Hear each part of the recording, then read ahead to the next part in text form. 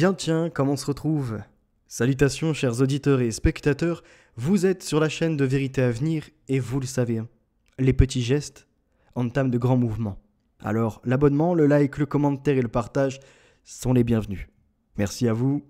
Soros et la société ouverte, l'émission numéro 2, c'est maintenant, puisque nous nous étions arrêtés sur la famille de Soros, sur son père qui espérait un langage universel par l'espéranto, et son fils qui lui parle un autre langage, celui de la monnaie.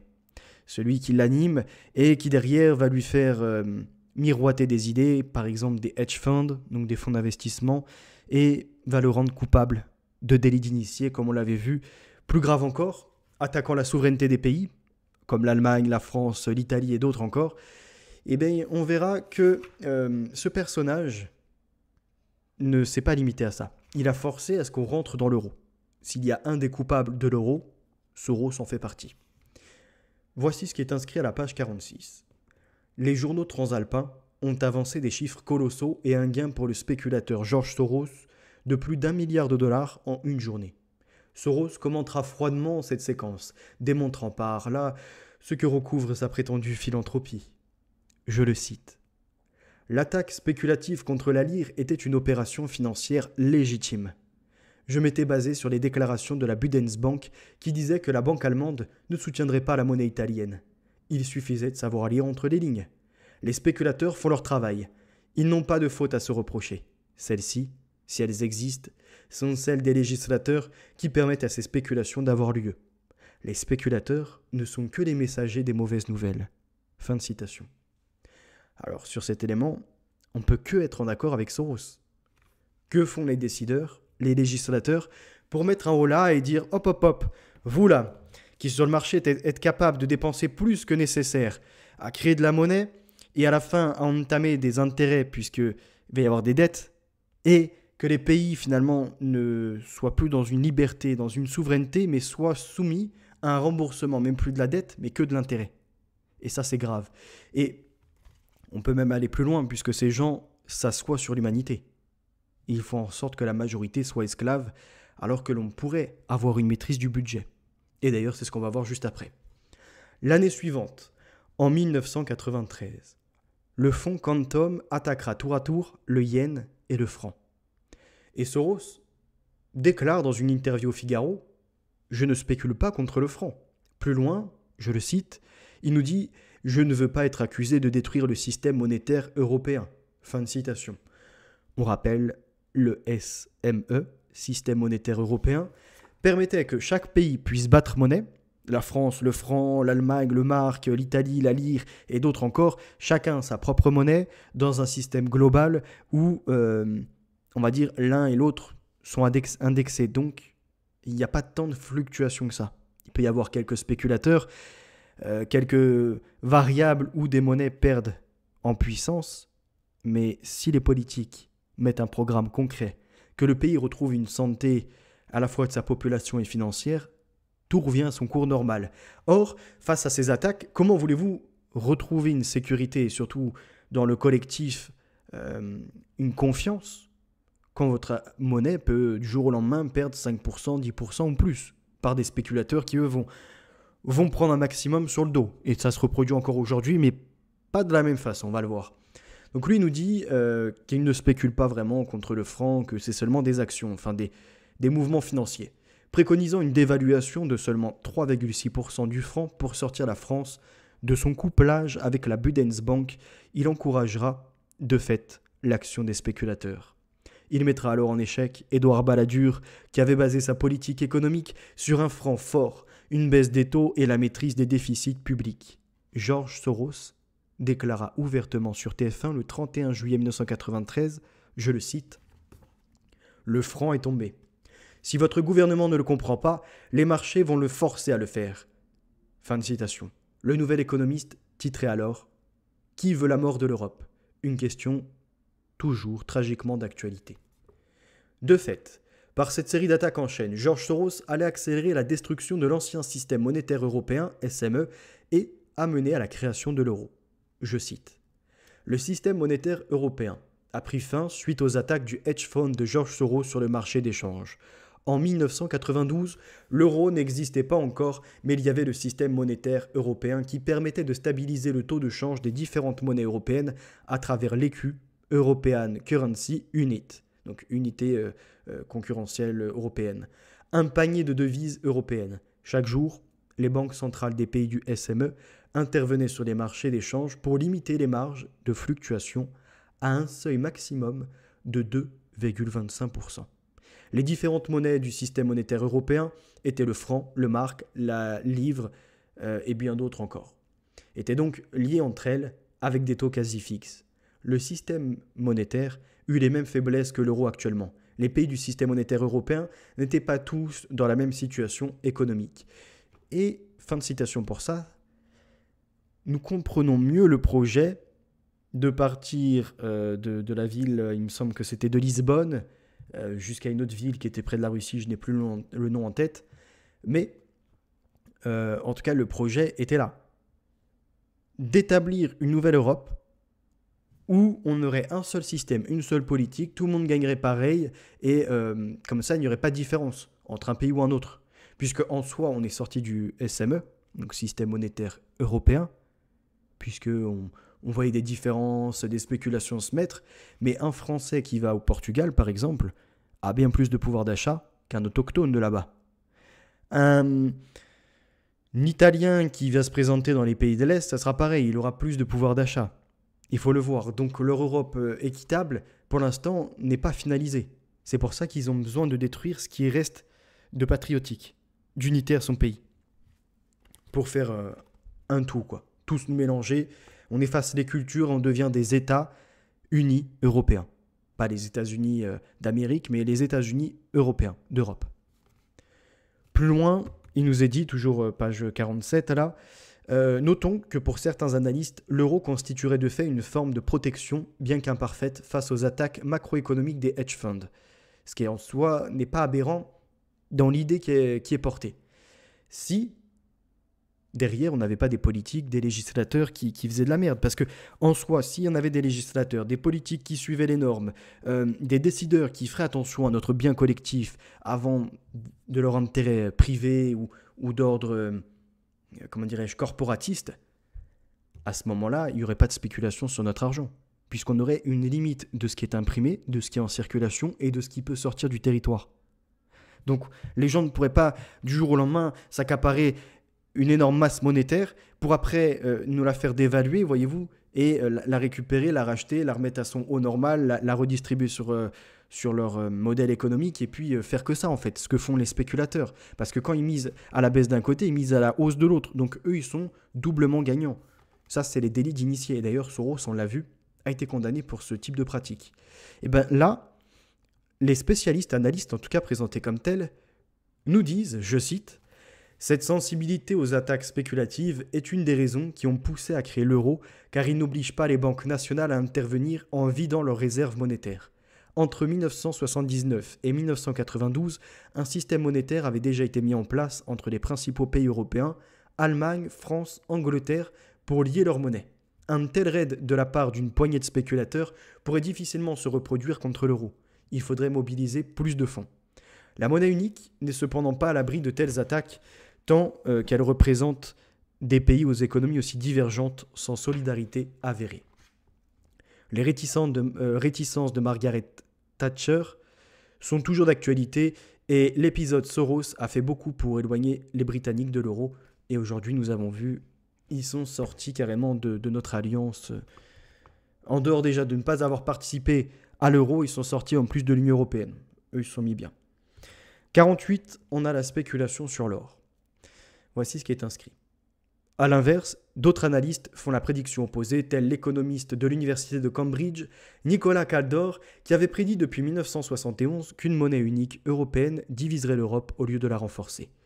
Un débat sur la souveraineté économique qui n'a toujours pas trouvé de solution définitive et divise toujours de nos jours. L'une des dernières grandes opérations de spéculation de George Soros sera constituée par une opération sur l'or opération durant laquelle son fonds rachètera 19,41 millions de dollars d'actions de la société Barrick Gold, la première société orifère au monde. Prévoyant une crise des marchés financiers et une augmentation du prix de l'once de l'or, il revendra 94% de cette participation 90 jours plus tard avec une plus-value de 127 millions de dollars. Fin de citation. Si je vous parle de ça, c'est parce que vous avez certainement observé ce qui se passe actuellement. L'or est en train de faire tourner la tête des gens. Il y a quelques années, il y a même maintenant quelques décennies, c'est aux alentours de 8000 euros le kilo. Il y a quelques années, après la crise des subprimes, on a vu une augmentation. Ça a commencé à arriver, il me semble, dans les 20 25 000 euros à peu près le kilo. Puis là, ces derniers temps, avec la crise, on était aux alentours de 40 000, 50 000. Et ça a explosé au point de monter à plus de 64 000 euros, il me semble. Même au-delà encore. Le prix de l'or devient astronomique. Et je me pose la question si c'est pas pour avoir les pigeons qui prévoient une crise financière, auquel on a toujours vendu le narratif que en cas de guerre, ce qui a de la valeur, c'est l'or. Sauf que la plupart, ils n'achètent plus l'or physique. Parce que quand tu l'achètes, tu as des taxes, tu es obligé de déclarer. Enfin, même si en soi, quand tu l'achètes en action, tu es aussi euh, déclaré et tu as, euh, comment dirais-je, l'État qui prend des taxes dessus. Mais ce qu'il faut voir, c'est que la plupart des gens achètent de l'or en titre informatique sur les marchés boursiers parce que ça rapporte, c'est simple, tu peux vendre à tout moment, euh, tu n'es pas obligé de repasser par une boutique qui va dévaluer un peu ta monnaie puisqu'il y a un intermédiaire qui s'y ajoute pour la racheter, pour se prendre son salaire aussi. Euh, c'est pas parce que tu as acheté ton kilo d'or, je te dis une bêtise, allez, 10 euh, 000 euros à l'époque et puis quelques années après il en valait 20 000 que quand, tu, quand tu te rendais à la boutique de l'achat d'or, il allait te le reprendre 20 000 parce que le kilo est à 20 000. Non, il y a des frais, il y a une partie où, le, comment dirais-je, le l'acheteur va, va te dévaluer ton bien. Comme, comme tout en fait, comme tout marché. Ce qu'il faut voir là-dedans, c'est que les gens donc, ont préféré prendre la voie de l'informatique. Tout acheter en informatique pour après faire tous leurs calculs, vendre, faire des achats à tout moment. Eh bien, euh, on va voir, alors je ne sais plus si c'est là exactement, mais je, m'en souviens de tête, qu'il y a un moment où ils vont faire croire que les Chinois s'accaparent de l'or, en récupèrent énormément, et que les Américains sont en train d'en perdre, donc que les marchés vont aller à la hausse pour que la plupart des gens, les petits gens et même ceux qui ont un peu de, crédit tout de même de côté, du capital, viennent investir, fassent gonfler les, les prix et que tout retrouve sa normalité une fois que ces riches spéculateurs vendent leurs actions. Pour les re-racheter au plus bas, refaire les mêmes, en fait, les mêmes mouvements, l'histoire se répète. Et ça, ça porte son nom dans la finance. Hein. L'histoire se répète, c'est quelque chose qui peut marquer tout un chacun. Et on nous dit, c'est finalement en 1992 que George Soros deviendra l'homme le mieux payé de Wall Street avec 650 millions de dollars accumulés en 12 mois. En 1993, ses biens personnels atteindront cette fois 1,1 milliard de dollars. C'est la plus grande quantité d'argent gagné en une année à Wall Street à l'époque. Dès lors, sa fortune ne fera qu'augmenter, passant de 7,2 millions de dollars entre 2004 et 2006 à 24,9 milliards de dollars pour l'année 2016, selon le classement Forbes. Donc après, ils reviennent fin 2017. Il transmet 18 milliards d'euros dans euh, son Open Society Foundation. En fait, on voit que c'est un, simple jeu d'écriture hein, qui, transmet l'argent d'un côté à un autre compte en soi, au niveau des actions. Page 49, euh, moi ce qui m'intéressait, donc c'était plus loin après, là on le voit, la fortune de, de Soros dans sa fondation, comme d'ailleurs les Bill et Melinda Gates qui ont fait de même parce que les fondations bénéficient euh, d'exonération de, bien d'autres choses encore. Donc ça permet de noyer le poisson tout en, se, faisant passer pour un humanitaire. Alors là, on a des liens entre Soros et Jean-Claude Trichet. Page 52. Jean-Claude Trichet succédera quant à lui à Mario Monti à la présidence du groupe européen de la Commission trilatérale après avoir été directeur du Trésor de 1987 à 1993, gouverneur de la Banque de France de 1993 à 2003 et président de la Banque centrale européenne de 2003 à 2011. Ce personnage m'intéresse parce qu'il est euh, comme... Euh, comment elle s'appelle? Celle qui a la BCE actuellement?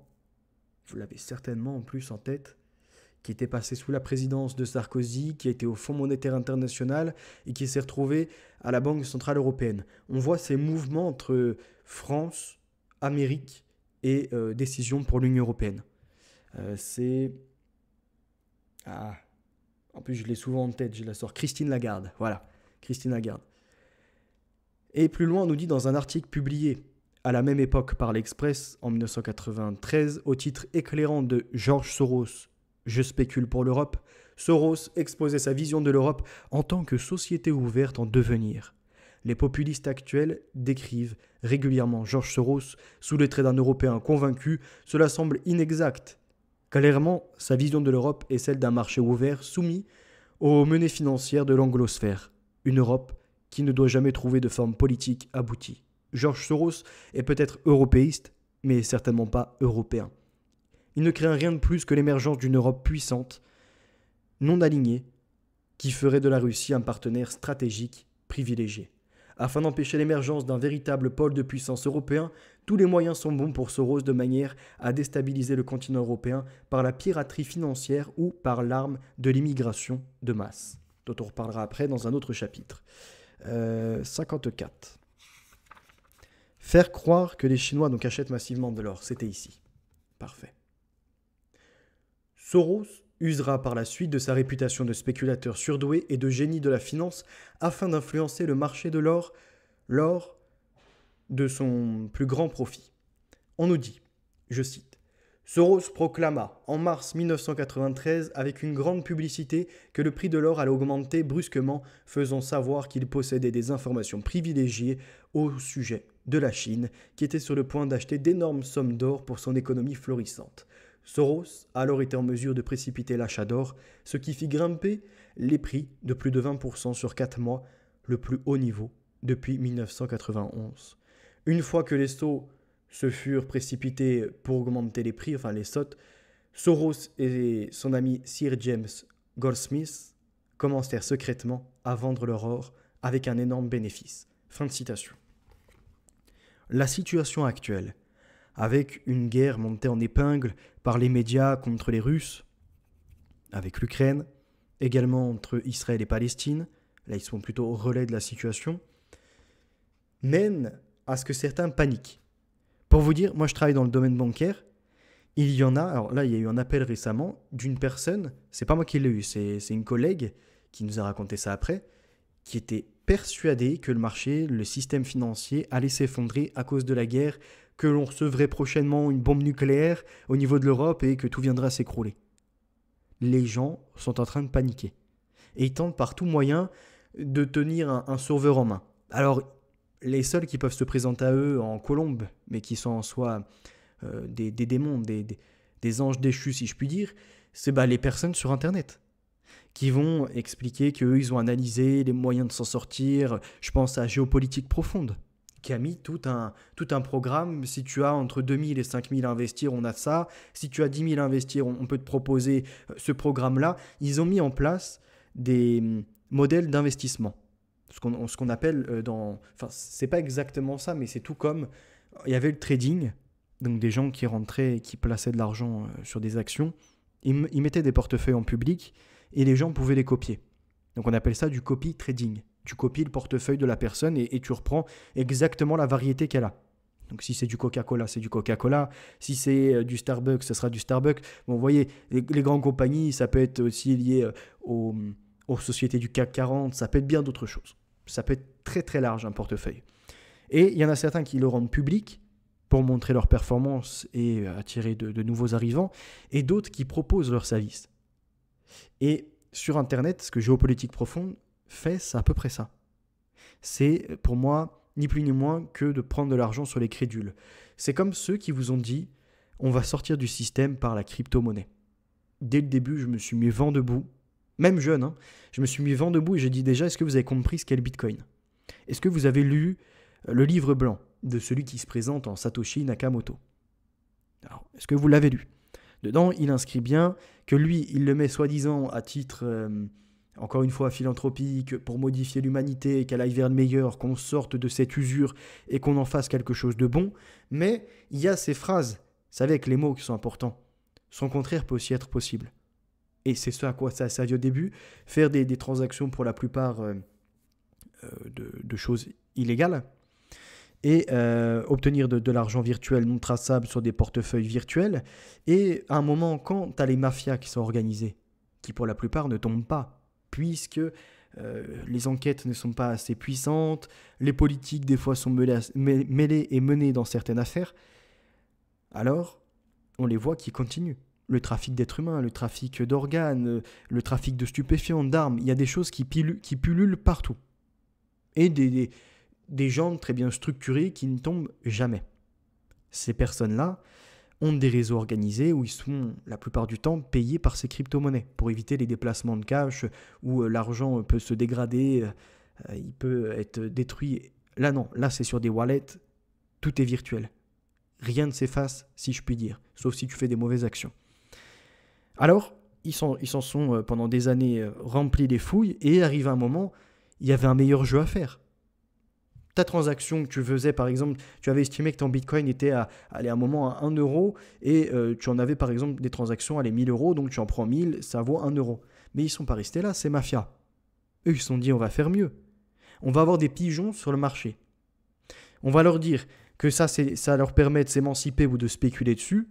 Il y en a certains qui vont rentrer dans le système de Ponzi en pyramide, qui vont y investir, ils vont retomber sur leurs bons, ils vont en ramener d'autres, et, petit à petit, comme ça, nous, à un certain, certain palier, on va revendre tout ce qu'on a. De l'argent sale, on va en faire du propre. Même si derrière il y a des taxes ou autre. On va en faire du propre ou euh, on va le réinvestir, mais à des, montants bien plus importants. Et c'est là que sont rentrés en, ligne de compte les influenceurs pour et appâter tous les pigeons de certains qui ne comprenaient pas ce qu'était la crypto, parce que c'est quand même très compliqué, se sont dit c'est un système d'émancipation. D'autres se sont dit moi je vais me faire du pognon parce que ça fait des années, je mets euh, sur les livrets d'épargne à 3%, 5%, je ne vais pas trop prendre de risques, c'est nul à chier. Je ne vais pas non plus mettre en, bourse parce que euh, tout est volatile. Le mieux, c'est que je me lance sur ce nouveau modèle économique. Et de fil en aiguille, paf, ça investit. Ça investit. Ça fait grossir les rangs. Les gens commencent à avoir des rendements, réinvestissent. Et voilà que la confiance s'est créée dans quelque chose qui n'existe pas, si je puis dire, seulement de façon scripturale. Et ce qui est fort, c'est quoi? C'est donc les mafieux, eux, ils ont balancé une partie de leur argent au propre, ou ils l'ont réinvesti à un level, euh, si je puis dire, très intéressant. De là, les gens lambda ont vu que bah, ça montait plus trop là ça stagne, voire des fois ça va à la descente. Sauf que quand tu as commencé à mettre 10 000, 15 000, tu te dis, tu sais quoi, moi ce que je vais faire, comme rien ne s'écroule du jour au lendemain, je vais le laisser dessus. Espérons un jour, euh, comme c'était promis par Goldman Sachs ou, qui on veut encore, ces pseudo-experts, ça va monter à 500 000 dollars, voire même au million. Il y avait certains qui annonçaient le Bitcoin au million. Il y en a d'autres qui se sont dit, bon, le Bitcoin c'est plus terrible. Ce que je vais faire, c'est que je vais voir quelle autre monnaie crypto, hein, donc euh, scriptural, existe à côté. Et là, ils ont vu Ethereum, ils en ont vu bien d'autres encore, dont le Ripple, tout ce qui a pu être promotionné. Ils se sont dit, bon, le, Bitcoin, plus assez intéressant, il ne monte pas, on va aller sur des petites, et qui sait, un jour, elles vont faire le même bon que ce que l'on a connu avec euh, l'autre qui a été popularisé. Et là, il y en a certains avec qui ça a fonctionné, d'autres où ça a augmenté du jour au lendemain, tout s'est effondré. Et là où j'en viens, c'est où? Donc tout ça, c'est de l'argent qui va disparaître. D'accord? Parce que suffit de quelques actions des gros poissons, de ceux dont on dit on ne sait pas exactement euh, combien ils en détiennent, mais ils ont quand même des centaines de milliers d'unités, le jour ils vont vendre. Le marché, c'est la baisse. Hein. C'est l'écroulement. En, quelques heures, les gens auront que leurs yeux pour pleurer. Ils auront beau faire entrer, entrer pour faire les actions, ils le vendront toujours plus à la baisse et tout le monde paniquera, effet de panique, le bordel retournera à zéro à ce qu'il était initialement. Et c'est là où c'est fort parce que c'est euh, ce que Soros nommera dans d'autres phénomènes la réflexivité. Tu pars d'un point, tac, t'es parti, tu reviendras à ton point initial. Et bah la crypto c'est exactement pareil. Ils ont fait partir les gens de zéro, ils les ont menés et ils continuent comme ça à leur mettre la carotte devant, devant, le, euh, devant leur nez d'animal, si je puis dire, vu leur comportement jusqu'à à un certain seuil, et d'un coup, ils les retireront par la laisse, à zéro. Et maintenant, tu n'as plus rien. Au lieu d'avoir eu du capital à ta banque, d'avoir investi dans de l'or, ou encore d'avoir fait des actifs immobiliers ou ce que tu veux, tu n'as rien. C'est fini pour toi. Et pourquoi j'en viens à ça? Parce qu'on nous a dit, je suivais le marché, euh, on a imprimé trop de liquidités. Quand on dit trop de liquidités, c'est pas il y a trop de monnaie sur le marché il y a trop d'argent scriptural. Et si les gens demandaient ou voulaient sortir des banques ce qu'ils avaient, c'est infaisable. Si maintenant on y ajoute tous ceux qui ont leur action en bourse, en crypto qui venaient également se présenter à la banque et qui demandaient l'argent, c'est infaisable.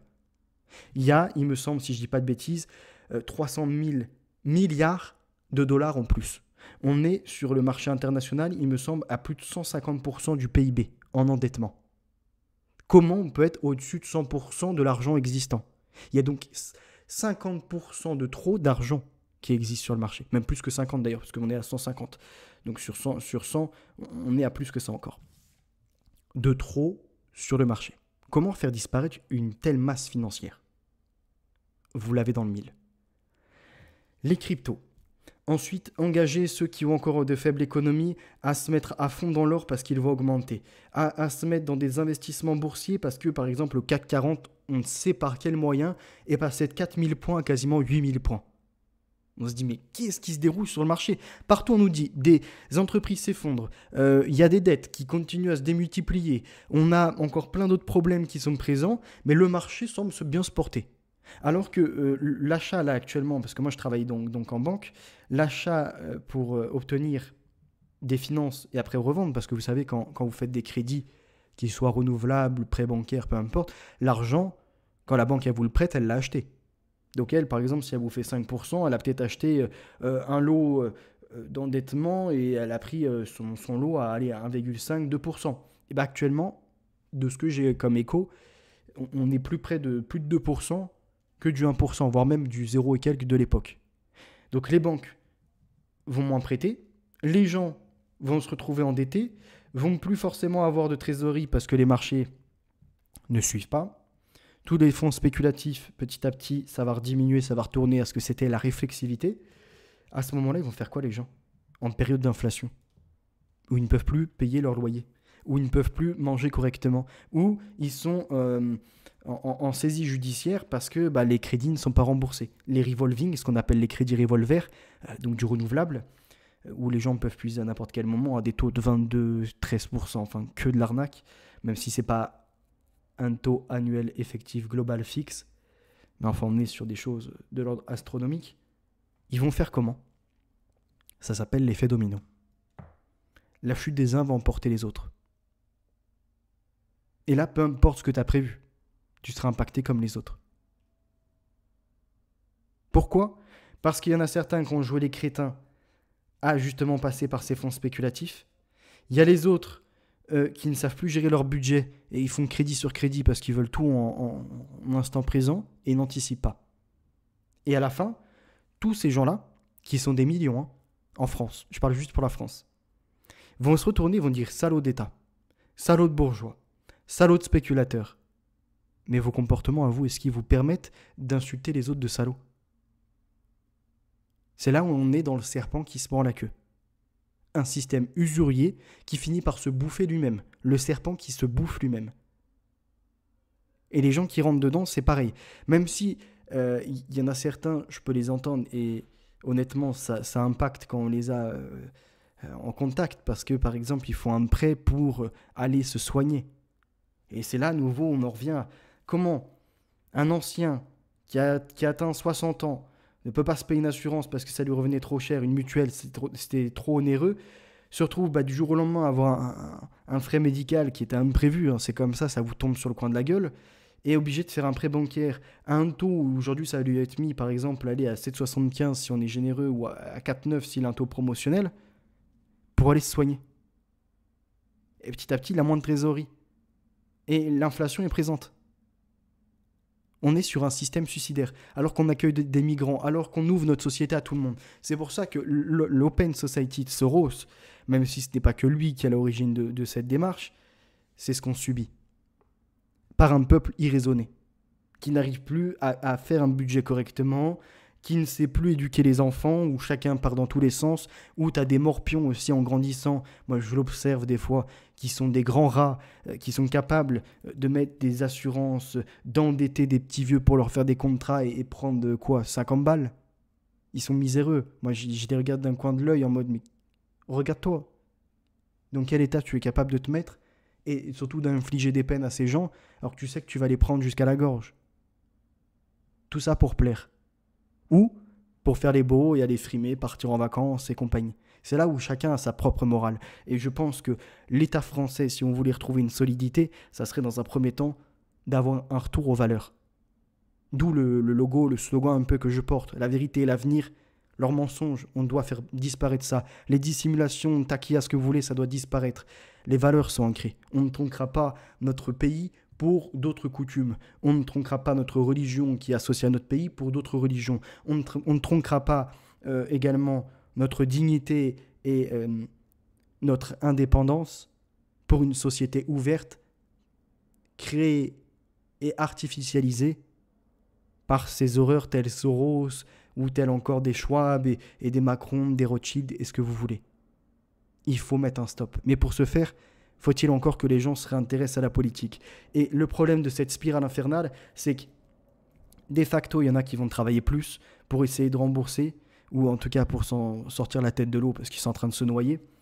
Donc ils n'ont pas le temps pour l'étude, pour lire, pour se poser sur des vidéos où des politiques ou d'autres analystes viennent à parler. Ils sont fatigués, ils sont épuisés. Ils ont déjà été suffisamment épuisés par le Covid avec toutes les conneries qui ont été sorties à côté. Comment on fait? Pour retrouver un peuple qui trouve une, intellectualité et qui arrive à se sortir du divertissement et de l'endettement. L'un le déprime, l'autre le rassure, mais de façon éphémère. C'est de l'ingénierie sociale. Ils savent marquer tous les points. Ce n'est pas de dire que ils sont tout puissants et ça y est, ils ont vaincu. C'est d'essayer de voir comment on peut changer les choses. Et si encore une fois, euh, l'avenir nous le permet par la volonté de Dieu. J'ai épilogué un peu, je vous le reconnais. J'espère que mes, mes, explications ont été euh, assez claires par rapport à ça.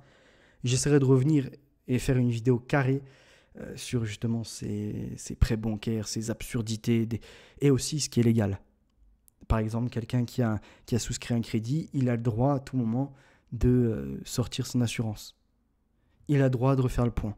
Bref, on pourra reparler de ça si vous voulez. Je vous marquerai les petits points et aussi, euh, pourquoi pas, des petites astuces si vraiment un jour il y a quelqu'un qui était dans la mouise. Mais moi, je vous dis, ne rentrez jamais dans ces systèmes usuriers. Tentez toujours, par la famille, les amis, de trouver une solution qui permette de passer partout sauf par la banque. Nous étions à la page 54 à parler de Jean-Claude Trichet, 52, et euh, là, à la page 54, de ce que Soros a fait. Avec euh, le fait de grimper l'or à plus de 20% sur 4 mois, euh, alors qu'en fait, derrière, il n'y avait pas d'achat de la part des Chinois. Et ces propos, on les a entendus sur Internet par certains qui se veulent indépendants, résistants, pareil, qui, qui se sont comportés en mini Soros, à leur petit niveau. Ils ont investi dans de la crypto ou encore dans l'or. Et ils ont créé, ils ont tenté d'effectuer un mouvement de foule pour dire regardez, ça y est, c'est la crise, venez investir, mettez votre argent avec moi. Et comme ça, dès que ça monte, ils revendent et ils se barrent. Ou prendre des commissions en tant que parrain. Ce que par exemple faisait euh, Jim Leveilleur et d'autres encore. Des escrocs que j'ai dénoncés dès la première heure. On le voit directement, les profils, la façon dont ils parlent, ils se présentent, et immédiatement, ils ramènent à l'ordre économique comme ces voyants ou, d'autres encore, les médiums, ce que vous voulez. Dès qu'ils le peuvent, ils placent le, la matière financière. Et une fois que c'est mis en place et qu'ils ont créé une relation de confiance, c'est fini. La personne en face est absorbée. Tu peux lui dire ce que tu veux. La ramener à la réalité, elle est absorbée dans le discours. Elle a son gourou. Si tu, si tu viens à être méchant avec lui, à être sur la mauvaise forme dans la critique, ou même à y venir des fois par le fond, peu importe. La forme ou le fond, elle n'entendra plus rien, cette personne. Elle dira que t'es un jaloux, que tu critiques, t'es trop jeune, tout ce que tu veux. Vous savez quoi? J'ai tellement parlé que pour aujourd'hui, on s'arrêtera là, une petite demi-heure. Et la prochaine fois, je vous promets, on en aura plus. Euh, en tout cas, c'est. C'est sûr et certain même, il y aura plus de lectures sur, sur ce Soros. Là, je suis rendu dans le livre à un peu plus de, de 100 pages. De 100 pages, pas 200 pages. Et donc, il me reste encore à peu près ouais, 200 pages à lire. Merci euh, pour votre écoute. Je vous souhaite une bonne soirée, puis on se retrouve prochainement. Peut-être que je vais entamer un débat, je ne sais pas encore. si c'est le cas, je vous, remettrai mes passages lorsque je parle. Merci à vous. À bientôt. La vérité, notre avenir, les valeurs sont ancrées.